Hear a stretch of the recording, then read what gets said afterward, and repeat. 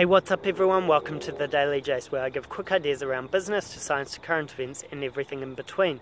Today is Sunday, the 1st of April 2018, and we're talking about Story of the Week, which was the Australian cricket scam. Essentially, the Australians went over to South Africa to play a test match, but during the game, they decided that they'd try and tamper with the ball, sand it down, so that then they'd get an advantage while they were bowling but unfortunately for them, all cameras were on them and it got out. The media blew up, and that off the back of it, they were called cheaters and liars, and the three players who were involved in the scandal they got banned from international cricket two for 12 months one for 9 months and the coach resigned so I think whenever something like this happens, the team has to review the culture. Also, the sport has to review the culture because uh, uh, it, it, stuff like this just shouldn't be happening, especially at high level sport. It, they're an example to the country, to youth, to the sport around how to act, and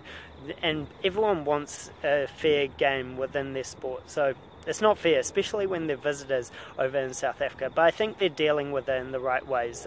All three players who were involved, they've come out in front of the media, taking full responsibility of the incident, and they're willing to pay the price, whatever that may be. They're going through the right process.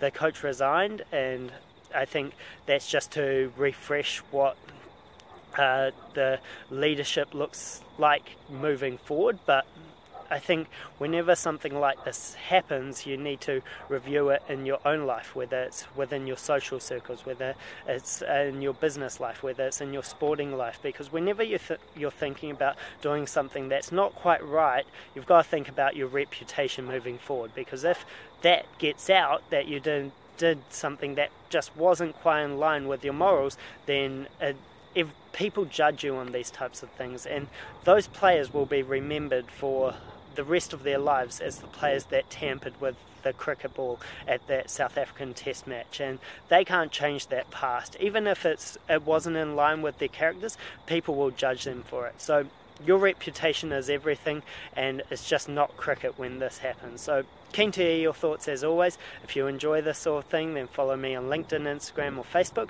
If you're connected with this idea in some shape or form, then give it a like, share, or comment. Otherwise, I'll catch you on the flip side tomorrow.